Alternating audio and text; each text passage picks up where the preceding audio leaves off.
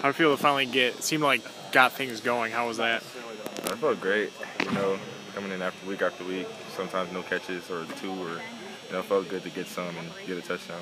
Taking me back to that play, was that something that was scripted all week for you to go to you, or did you know all Um, along that's how it was going to be? Actually, we got the, the starters the day before, so we knew we were gonna go. We were gonna attack them deep on the first play. We just didn't know who it was gonna go to.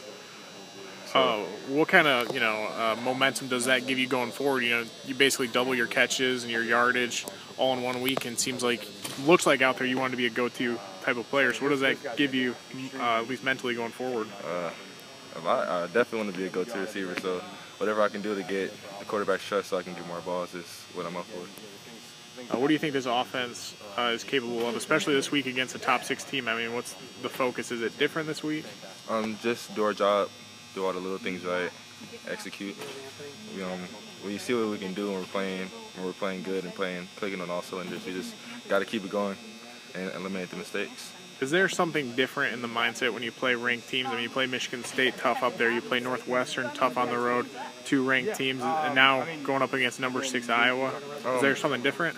I don't think it's so much different. You know, some game, different games are bigger than others, but you know, we just come into it every week, just trying to get a, go one and zero every week. You know, get another, get a win. So it's, it's nothing different. You can't hype a game. Sometimes you'll, you'll let it get away from you. So we just come in and work